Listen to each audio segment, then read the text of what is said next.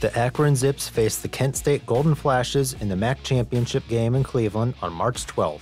The Zips upset the number one Toledo Rockets in the semifinals and will go on to face their arch rivals for the third time this year. Kent State starts off strong with some early triples from VonCameron Davis and the MAC's most valuable player, Sincere Carry. The Flashes would get off to an 11 3 start before the Zips would find their groove with some deep shots from Ali Ali.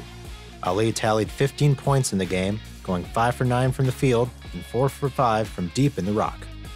Despite a hot start to the game, the rest of the first half would be a tale of turnovers for Kent State. The Flashes turned the ball over 19 times throughout the game, nine of which came from Sincere Carry.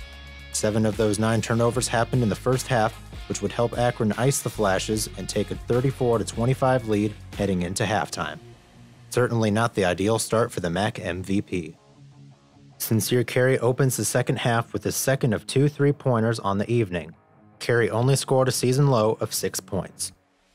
Conversely, Garvin Clark, who only averaged three points a game throughout the entire year, would score a season high of 11 points, going 3 for 5 from deep. Talk about having a career game when it matters most. Collectively, the Zips hit over 52% of their field goals and three pointers, which helped them pull away. Justyn Hamilton would carry the Golden Flashes with 19 points and 8 rebounds, including this vicious dunk.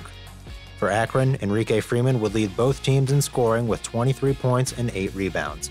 Despite running away with the commanding lead, the Zips would not take their foot off the gas as Freeman goes unblocked and throws the hammer down.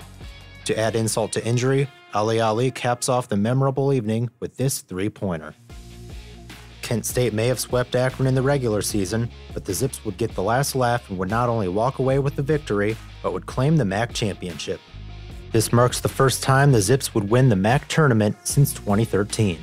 Enrique Freeman would rightfully go on to win MAC tournament MVP. This is Dan Groen with the ZTV Sports Report, and thank you for watching.